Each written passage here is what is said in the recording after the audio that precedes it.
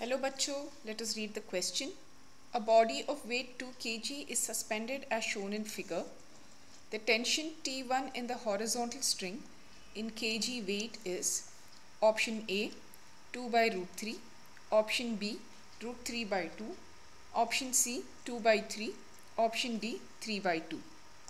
तो इस क्वेश्चन का की कॉन्सेप्ट है equilibrium of a particle equilibrium of a particle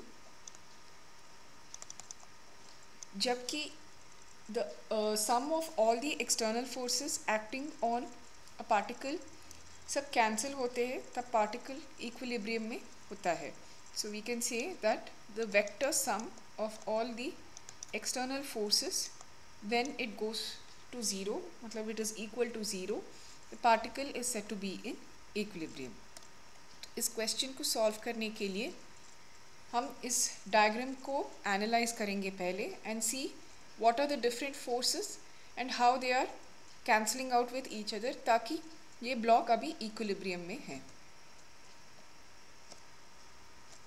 तो सबसे पहले we have a downward gravitational force which is the weight which is usually given by m और इस क्वेश्चन के और डेटा से this is two K G weight the weight is two K G weight अभी we will have a opposing tension which is the component of let us say this is tension T तो इसका vertical component होगा T sin sixty और इस तरफ़ हमें एक T one tension है and this is balanced out by this horizontal component from this T tension which is T cos sixty तो सबसे पहले हम इस t का जो वैल्यू है उसको कैलकुलेट करेंगे। So so, t is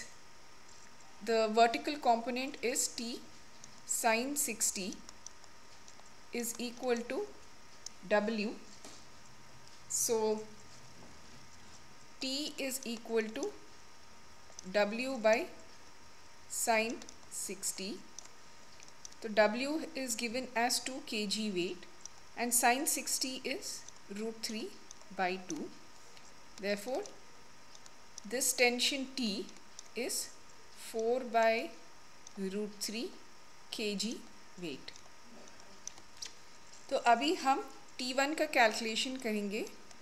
T one is the horizontal component of this T force the tension force T